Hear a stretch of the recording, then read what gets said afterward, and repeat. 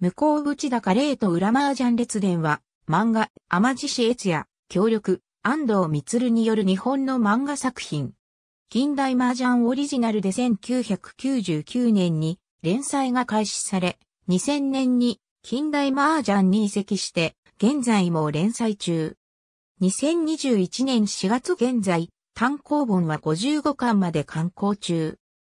コンビ2番総集編、麻雀破壊神、回も発売された。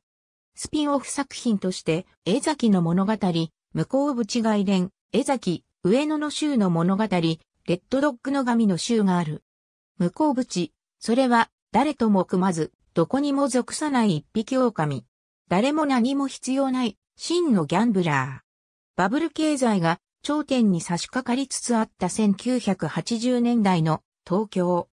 市中の雀荘に飽き足らず、1000.1円、あるいはそれ以上の高レートで行う、賭け麻雀に走る人たち。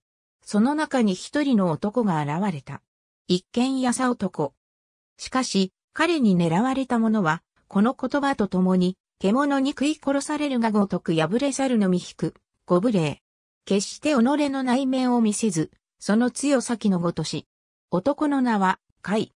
表裏直接海のターゲットにならなかった、あるいは感染者として、海に敗北した者たちの戦いを見届けた人々。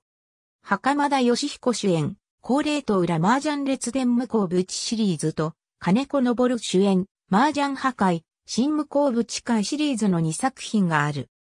作品一覧出演スタッフ、作品一覧出演スタッフ2007年に、高齢と裏麻雀列伝向こうぶちご無礼、終了ですねのタイトルで、任天堂 DS 用とプレイステーション2用にゲーム化されている。